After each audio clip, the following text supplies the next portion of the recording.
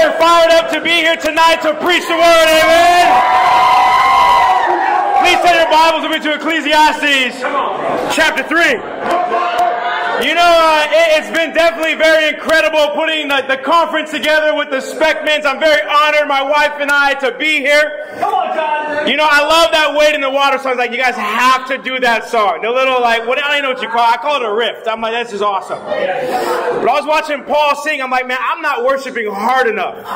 This brother's sweating right here. I need to worship a little bit harder. So prayerfully, I'll be sweating a little bit during this sermon. Amen. Of course, I bring you greetings from New York City. You know, uh, my wife and I, we have the honor and the privilege to lead the AMPed region of the New York City Church, which is arts, media, professionals, and education. You know, uh, it was it's really cool. I was looking at everyone who was here, and I, I, I was like, man, I have connections with a lot of people. Some really good, good memories, and some bad memories. I, I think Josiah Kristen saw me at my worst. we won't talk about that though. That's not a sermon for another day. Josiah likes to bring that up sometimes, so I figured I'd bring it up first. So that, you know what I mean? It's like eight mile, you know, it's trying to control that. You know, last time Michael was in town, I, I actually found out that he was my grandfather in the faith. So he baptized the guy who baptized me, and I was like, wow, that's incredible. I used to have this pretty awesome afro in, in Portland. It was awesome. Tony Anton used to call me Ben Wallace. That was when I got baptized with it. I loved it. It was a pretty good fro. Michael just started busting out laughing when I showed him the picture, and he was like, Bro, I'm the reason why your hair got cut. I was like, Wow, bro, thank you. I, I, I forgive you. Ecclesiastes chapter 3. I'm just very grateful to be here tonight.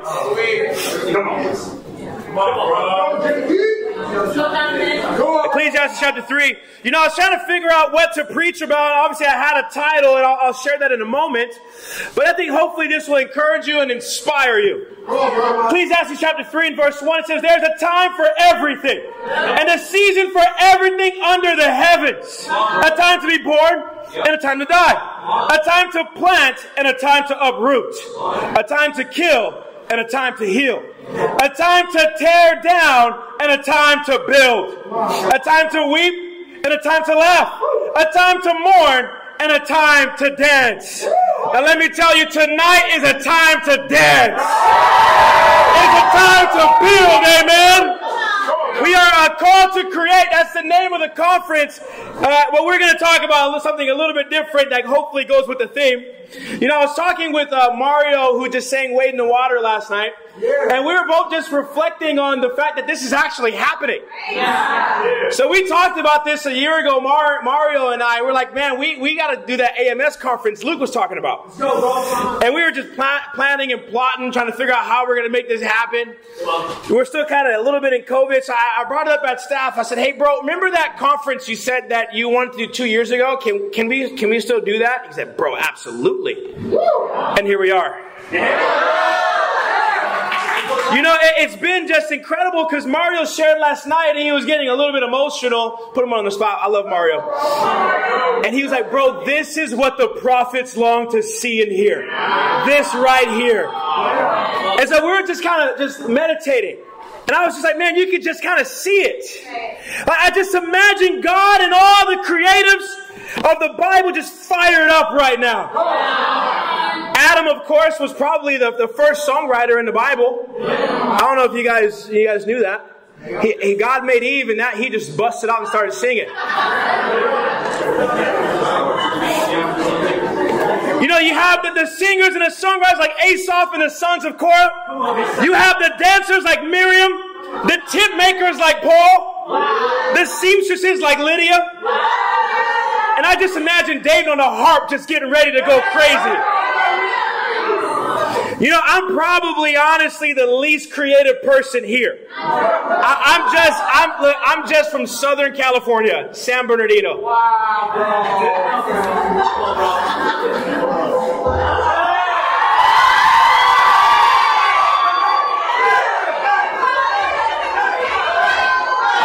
I can't do it. I can't do it. I can't do it. I can't do. It, it, almost, it almost got me. It almost got me. You know, when it plays, you just kind of have to let it, you have to feel it a little bit.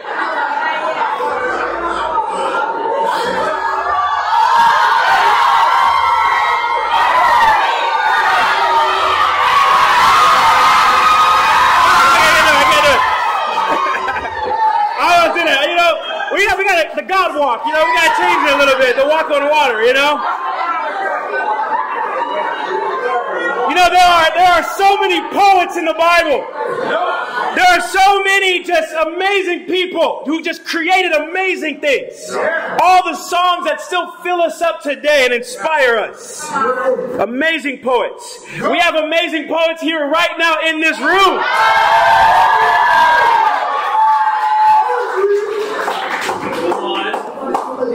I said that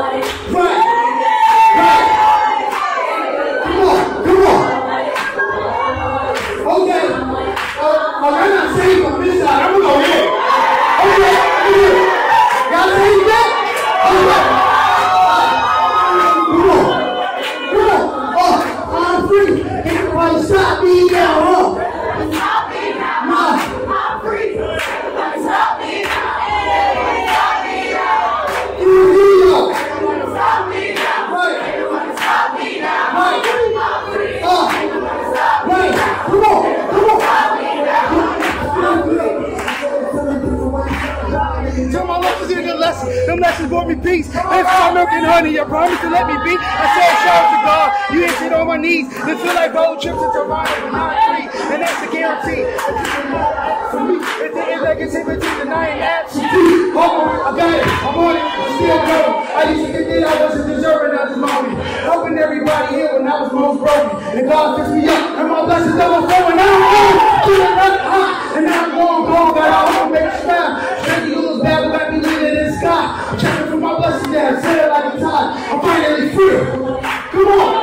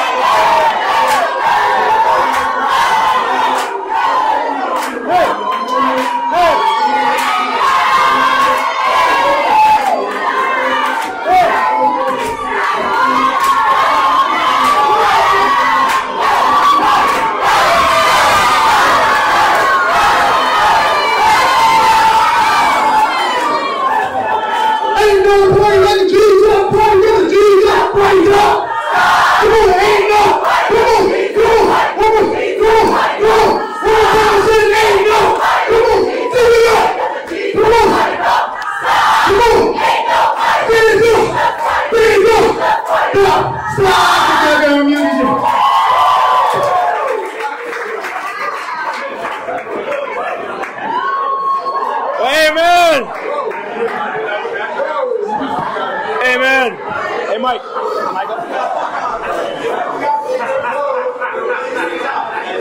Please turn your Bibles to Genesis chapter 1. I think we can all agree that ain't no party like the Jesus party. Amen.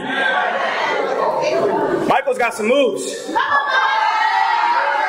I, I wasn't I wasn't ready.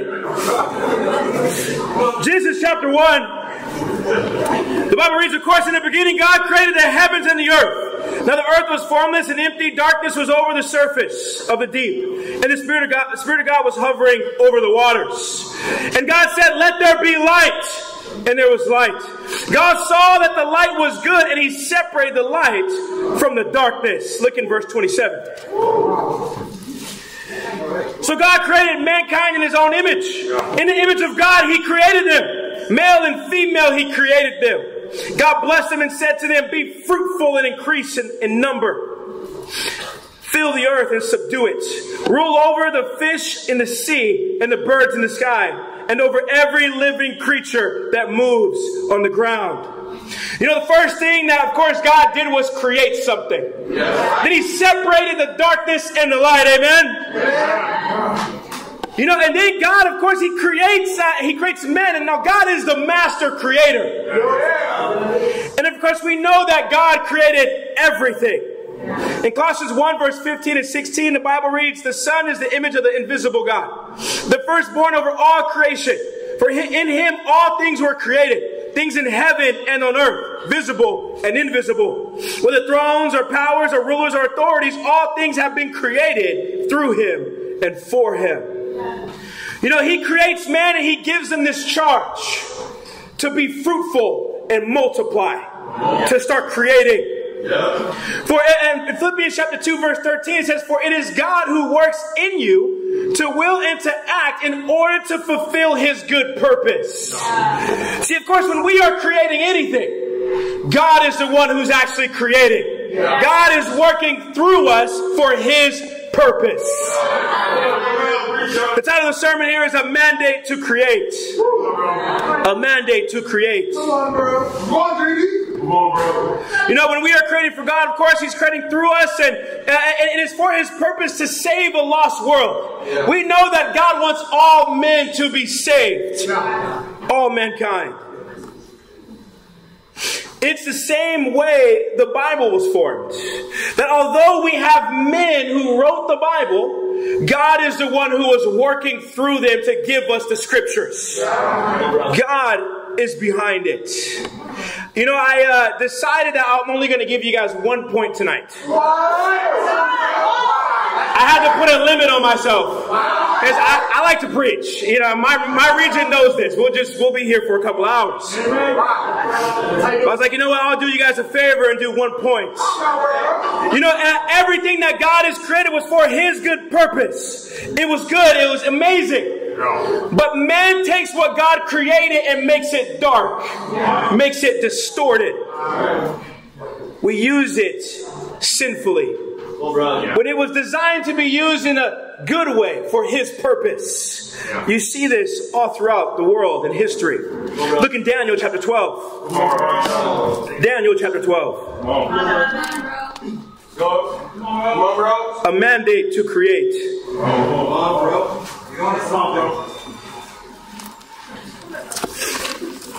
I like being on to something.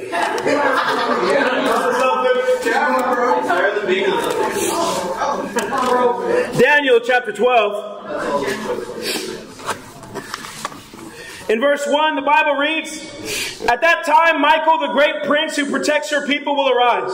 There will be a time of distress such as not happened from the beginning of nations until then. But at that time, your people, everyone whose name is found written in the book, will be delivered. Multitudes who sleep in the dust of the earth will awake, some to everlasting life, others to shame and everlasting contempt.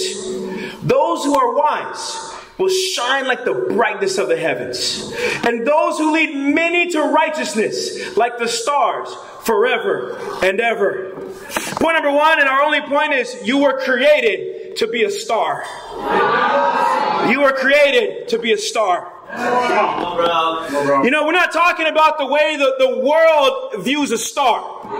You know, we were talking last night with, uh, with, I was talking with Michael and Josiah, and they're talking about just, you know, Hollywood and actors and all this, this darkness. And I was like, really? That's what it's like? Just, just darkness, but the world views them as stars, as people to look up to, people to aspire to be. But they're filled with so much darkness. We're not talking about those kind of stars. We're talking about how God views a star. Those who lead many to righteousness. You know, there's a, a difference between diamonds and stars. Yeah. Diamonds, I would say, are the stars of the world. You guys understand? You guys remember that song um, by Rihanna, "Shine Bright Like a Diamond"? Now, of course, the world chases after diamonds, all kind of riches and fame, and it's what the world wants. Now, you understand that diamonds, of course, they don't create light; they reflect it. Come on, bro. And that's that's what the world is like. You see, what happens is, is when you shut the lights off, those diamonds aren't shining no more. Preach somebody. Come on. However, Come on, bro. when you are when you're a star, a star creates light. It is light. It's a part of light. Those are the disciples. Amen.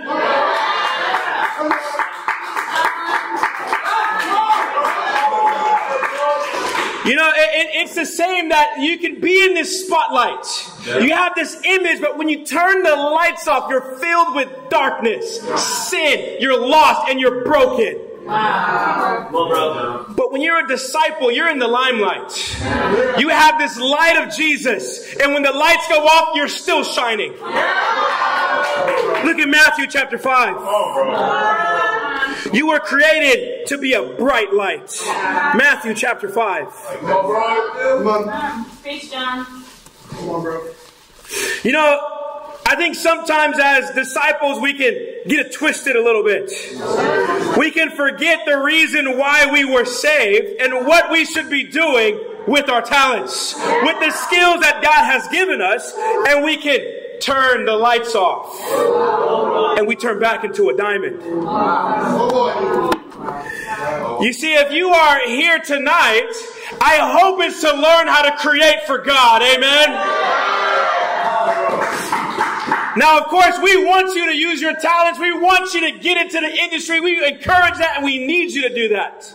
But we need you to keep the light of Jesus burning. Matthew chapter 5, in verse 14. It says, You are the light of the world. A town built on a hill cannot be hidden. Neither do people light a lamp and put it under a bowl. Instead, they put it on its stand and it gives light to everyone in the house. In the same way, let your light shine before others, that they may see your good deeds and glorify your Father in heaven.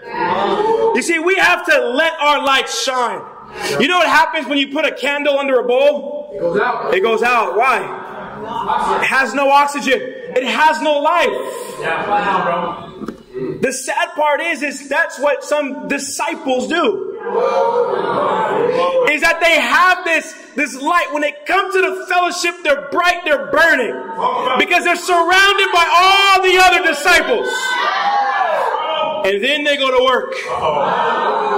And then they go home. What happens to the light?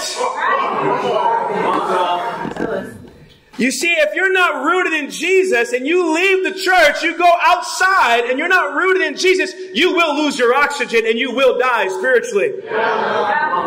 You see, it's very important to understand that your good deeds will encourage and lead the world to righteousness. That you holding on to your convictions will change the world. Like, why do you do that? Why do you say no to that? Why do you not jump into the sin with us? Because I believe in Jesus. You know, we, we need to make sure that we are focused and we are always burning for Jesus, no matter who we are around and no matter where we will go. We're burning for Jesus.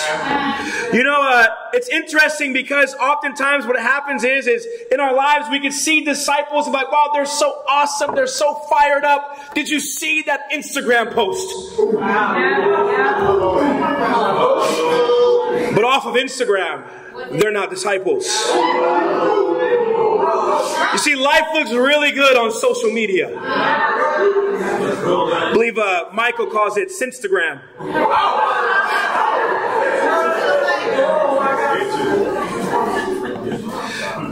We must have this conviction that no matter where we go, we will let our light shine. Of course, that is the light of Jesus that's inside of us.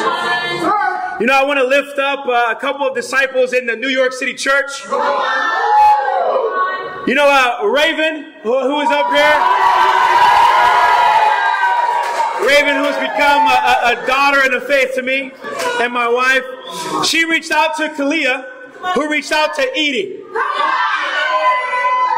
Raven also, and of course they're all baptized, Raven also baptized her mom. Amanda, Ameka's uh, wife, who's up here, she's over there, just recently got married. She also baptized her mom. And what's really incredible is that Kalia's mom just did L&D, which is incredible. Now, as Meredith, this is really incredible. As, Meredith was in London, she's a model, and uh, Maria Hart reached out to her on Instagram. And now, as Meredith is a disciple and has been one for a few years. You know, I want to lift up uh, a very dear brother uh, to me, uh, Mario Mendiha. I've been discipling Mario for a little over a year now, and it's been a, we've had a lot of fun and ate a lot of good food together. Yeah, he likes Chick Fil A. I just got to go along for the ride and the and, and the free food. But I, I appreciate Mario because Mario has had this conviction. And I, I, want to share it with you because it, it, really actually increased my faith. You know, uh, uh, his wife uh, recently uh, was baptized a couple of weeks ago, which is incredible. Now, before uh, Kayla, when she uh, decided to step back from the church, and then she realized later on that she needed to uh, get baptized again, um, it, it, was incredible because Mario's convictions for his wife and for God did not change. And his heart was, you know what? I'm going to give missions as if my wife is still a disciple. My pledge is not going to drop. I'm going to give my pledge as if my wife is still a disciple. Why? Because I believe she will be a disciple again.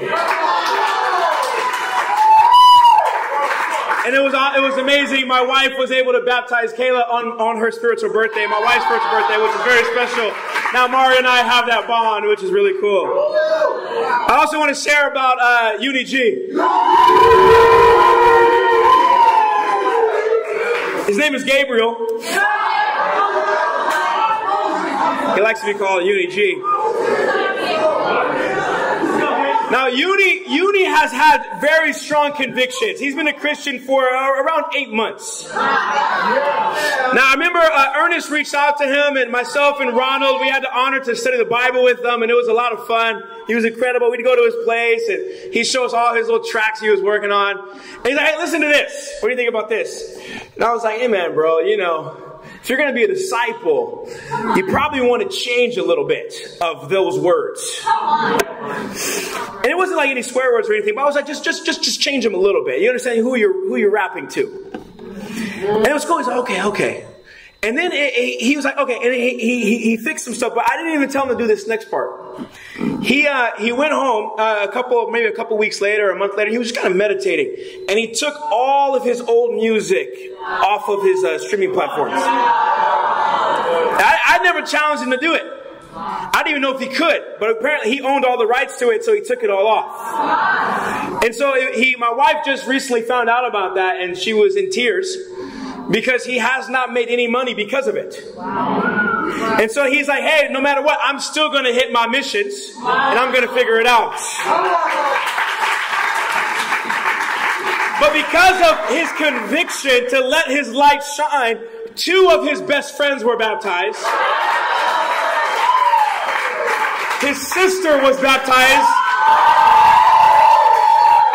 And he always brings his friends to church and they always come. It's incredible. It's always a party when Uni G is there. Amen. Look at Matthew chapter 28. We'll close out here. Matthew 28. Come on, brother. No diamonds here. I like that. I saw maybe a few people were taking the diamonds out of their ears, you know? No, I'm just playing. I'm not allowed to wear earrings anymore. Luke says every time I wear earrings, he knows I'm struggling, so I don't wear them anymore.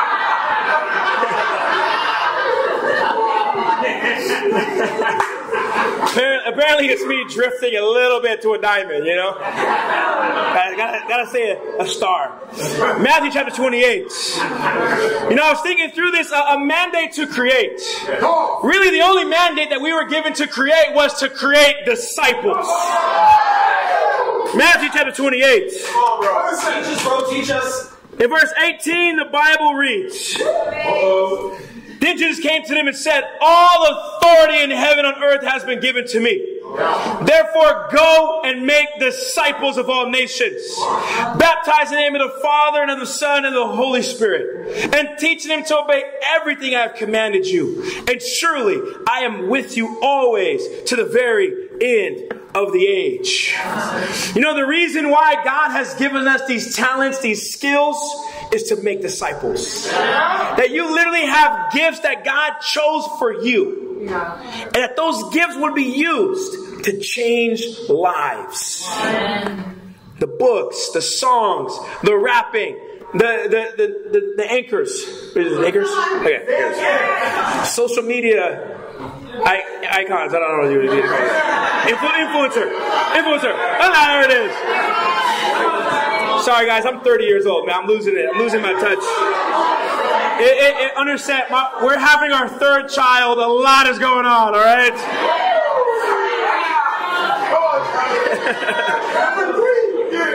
gotta, get it in there. But we have been given this mandate to seek and save the lost. I want to ask you all a question here. If you are not creating for God, then I want you to ask yourself, who or what are you creating for?